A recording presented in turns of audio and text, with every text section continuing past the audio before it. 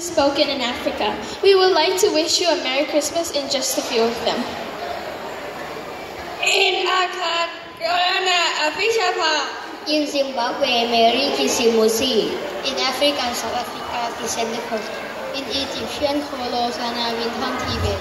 Our song Sing Noel includes a variety of African musical styles all mixed together.